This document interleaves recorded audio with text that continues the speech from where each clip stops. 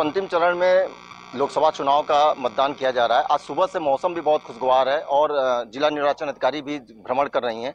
किस तरीके से मतदान हो रहा है और क्या स्थिति हम उनसे बात करेंगे? मैम, आज तो मौसम भी बहुत जो है खुशनुमा है तो काफ़ी राहत है। कैसा वोटिंग चल रहा है और क्या व्यवस्थाएँ हैं? लोकसभा निर्वाचन 2024 के अंतर्गत सप्तम चरण में मिर्जापुर जनपद में आज मतदान की प्रक्रिया चल रही है।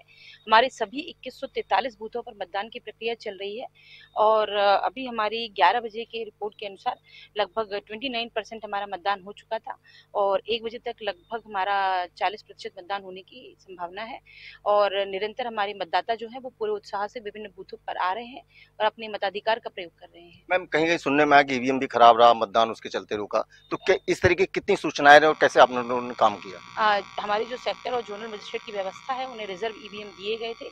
जिस भी बूथ पर इस तरह की शिकायत आई है तत्काल वहाँ रिप्लेस करा लिया गया है और अब कोई समस्या नहीं है सभी जगहों पर सुचारू रूप से चल रहा है। अच्छा मैम जो मीडिया वालों के लिए एक बात निकल के आ रही थी कि वो लोग जो है अंदर नहीं जाएँगे कुछ इस तरीके की सूचना आ रही थी। तो क्या मीडिया वाले अंदर नहीं जाएँगे बात करने के लिए मतदाताओं से? इसमें स्पष्ट दिशा निर्देश है कि बूथ के अंदर कैमरा लेकर किसी को मनाही नहीं है।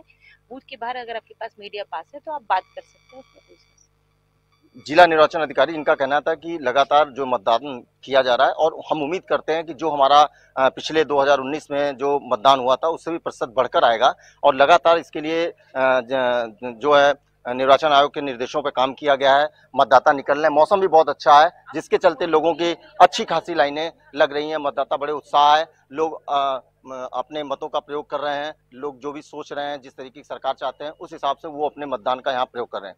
इंडिया न्यूज़ के लिए मिर्जापुर से आकाश दुबे की रिपोर्ट।